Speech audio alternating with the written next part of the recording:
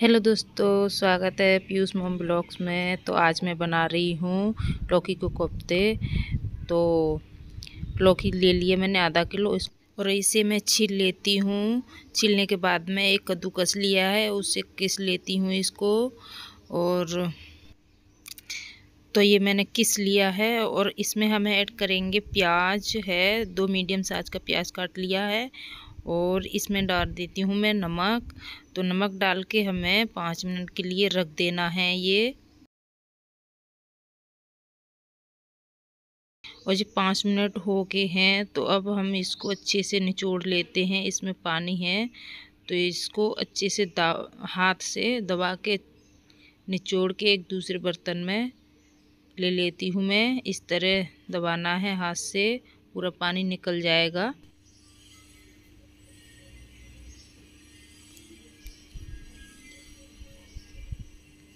तो ये मैंने अच्छे से निचोड़ लिया है।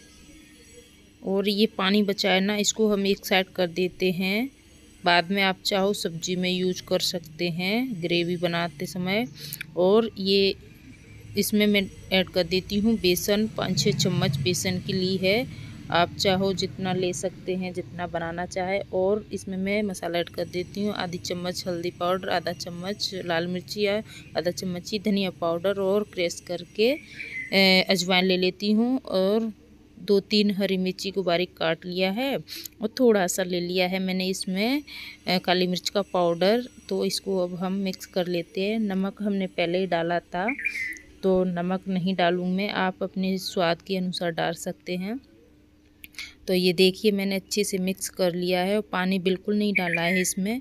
और इधर मैंने तेल गरम करने पहले रख दिया था गैस पे तो गरम हो गया है और इधर मैं डाल देती हूँ इसमें गोले बनाए थे कोफ्ते के।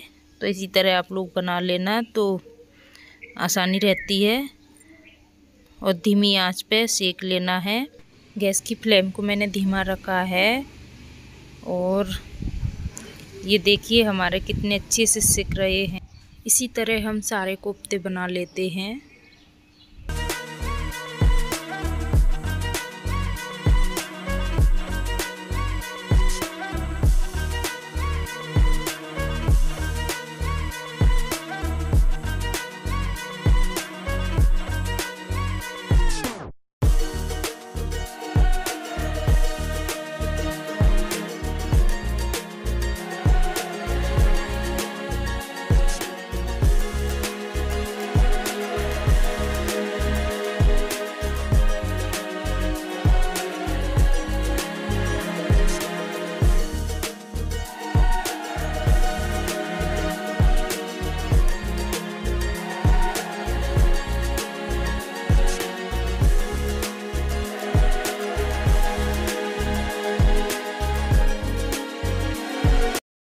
और यहाँ पे मैंने कढ़ाई में तेल कम कर लिया है, उसमें जीरा डाल दिया, आधा चम्मच चटकने के लिए और थोड़ी सी मिर्ची डाल दी है बारीक काट के और लहसुन, प्याज, अदरक का इसमें मैंने ग्राइंड करके बारीक बिल्कुल ही प्याज लिया है, पेस्ट और ये मसाला है, हल्दी पाउडर, धनिया पाउडर, नमक स्वाद के अनुसार, मिर्ची पाउडर, आधा चम्मच, कश्मीरी पाउडर, आधा चम्मच और गरम मसाला और इसको हम अच्छे से भूंज लेते हैं। तो मैंने मसाला भूंज लिया था तो आधा भूंज चुका है मेरा।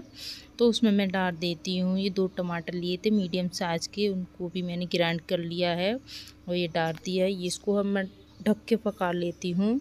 ये देखिए हमारा कितना अच्छे से कुक हुआ है मसाला।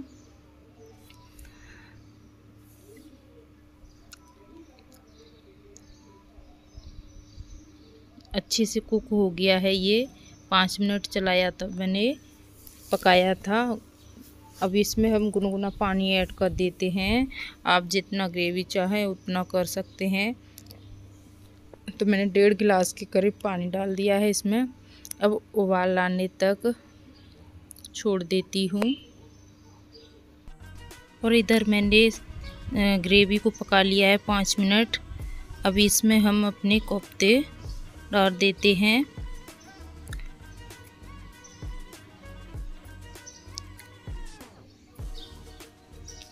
और कोफ्ते डाल के मैंने दो मिनट के लिए पका लिया है। और ये देखिए हमारी सब्ज़ी कितनी अच्छी बन के तैयार हुई है।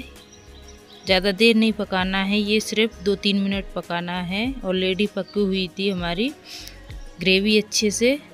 और हरे धनिया काट के डाल दिए हैं। तो ये देखिए दोस्तों कितना अच्छा बन के तैयार हुई है। तो दोस्तों चैनल को सब्सक्राइब, लाइक ज़रूर करना।